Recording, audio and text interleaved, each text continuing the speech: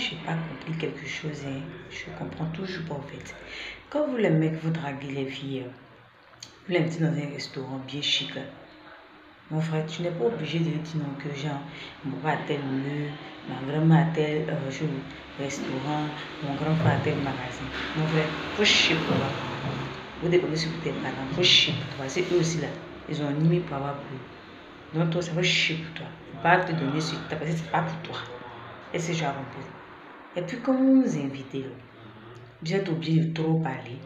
Nous les filles, quand nous drague là, nous invite là. On n'aime pas les gens qui bavardent trop. C'est moi même là, c'est moi qui bavarde. Il dit, t'es pas là, tout ce que tu es belle, c'est comme si, c'est comme ça. Moi, là, ici, comme ci, ici, comme ça. La fille même pas écouter montrer. Mais c'est blanc, hein.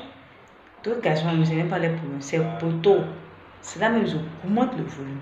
Tu dis, hmm, ah, ok, ah, hmm, j'ai compris, ah, c'est ah, comme si.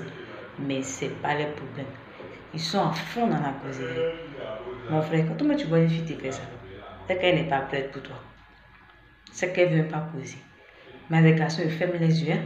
Ils sont en train de bavarder, de causer. ah, c'est comme ça, non, ma chérie, c'est quoi, c'est quoi?